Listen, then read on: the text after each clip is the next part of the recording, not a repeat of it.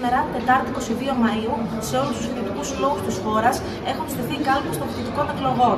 Καλούμε όλες τις συμφοιτήτρες και όλους τους συμφοιτητές μας να συμμετέχουν μαζικά στις εκλογές του φοιτητικού του συλλόγου, να πάρουν την κατάσταση στα χέρια τους, να αναδείξουν τους αγωνιστές στα διοικητικά συμβούλια, την πανσοδαστική κίνηση συνεργασίας για τρίτη συνεχόμενη χρονιά, πρώτη δύναμη πανελλαδικά, αλλά και σε κάθε ίδρυμα και έτος.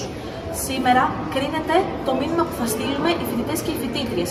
Κρίνεται αν θα πούμε ένα μεγάλο ναι ή ένα μεγάλο όχι στα ιδιωτικά πανεπιστήμια. Κρίνεται αν θα πούμε ένα μεγάλο ναι ή ένα μεγάλο όχι στις σπουδές, τα πτυχία που έχουμε πραγματικά ανάγκη. Κρίνεται αν θα στείλουμε μήνυμα καταδίκη της σφαγής του Παλαιστινιακού λαού. Κρίνεται αν θα πούμε ένα μεγάλο ναι ή ένα μεγάλο όχι στη συγκάλυψη του εγκλήματος των τεμπών.